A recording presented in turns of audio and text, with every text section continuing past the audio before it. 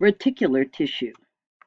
Reticular tissue is a specialized tissue that primarily forms a framework for uh, lymphatic organs such as lymph nodes, the spleen, the thymus, and in bone marrow.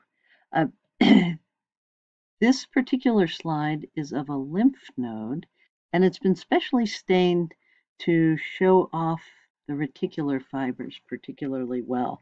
So it has a little bit different color scheme than many of our other tissue, many of our other uh, slides. So let's take a look down into this one and we'll find, woo, let's go out here around the edges where the cells are more tightly compacted. And as we move in, we can see these little clusters of cells, sort of like grapes maybe. Um, those cells are small white blood cells, a particular type called lymphocytes.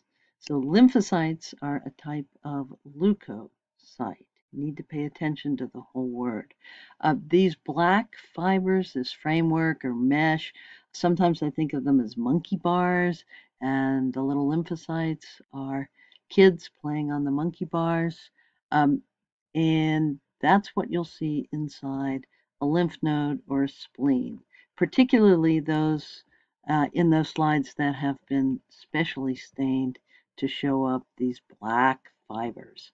Those are reticular fibers, and you will, you will recall that uh, the areolar tissue, the other loose connective tissue, had abundant collagen fibers and elastic fibers.